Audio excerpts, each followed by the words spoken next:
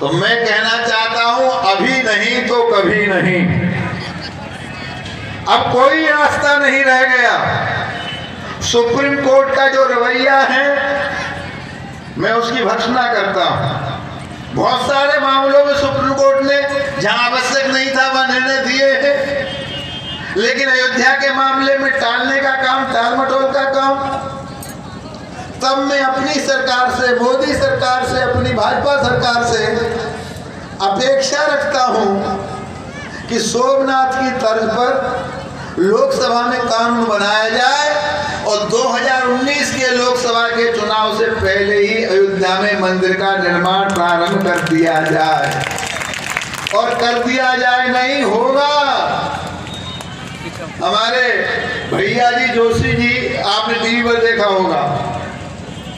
सरकारवा वो गए थे दर्शन करने के लिए। रामलला को प्रणाम करके आए और गाय अब की दर्शन करने आऊँगा तो भव्य मंदिर में दर्शन करने आऊँगा। मैं त्रिपाल वाले भगवान के दर्शन करने नहीं आऊँगा। इसी 25 तारीख को बड़ा लश्कर।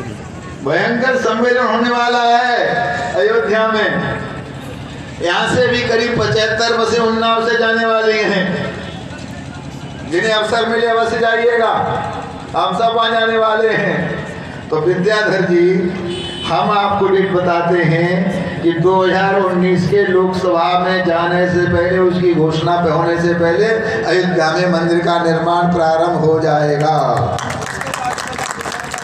अब उसके लिए चाहे तो सरकार को अध्यादेश लाना पड़े।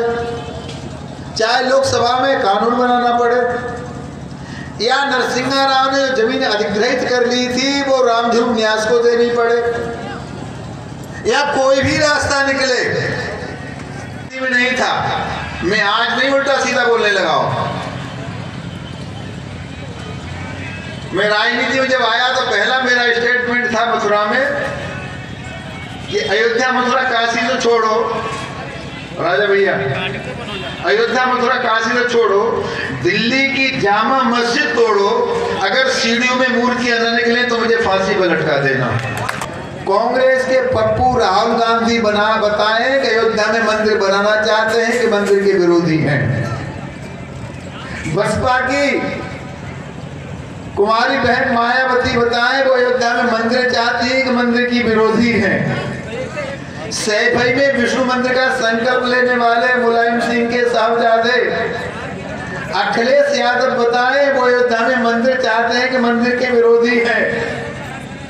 हमारे राष्ट्रीय अध्यक्ष अमित शाह जी ने कल ही जयपुर में कहा है कि हम एक इंच भी पीछे हटने वाले नहीं हैं। वहाँ मंदिर था, मंदिर है, और वहीं पर भगवान का दिव्य मंदिर बनने वाला है।